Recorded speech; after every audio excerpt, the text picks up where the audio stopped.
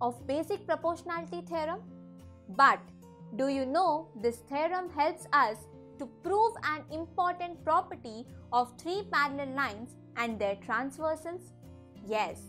But before we understand the property, let's just quickly revise parallel lines and their transversals. Parallel lines are two lines which never intersect with each other and a transversal of a pair of parallel lines is a line which intersects these lines in two distinct points like this.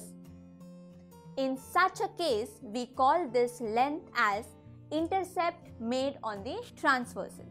Now, let's understand the property of three parallel lines and their transversals. Let's suppose there are three parallel lines L, M and N.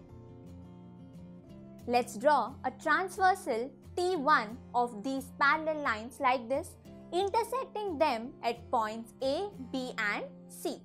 Then the transversal T1 is making two intercepts here that is AB and BC. Let us now draw another transversal T2 of these parallel lines like this intersecting them at points P, Q and R.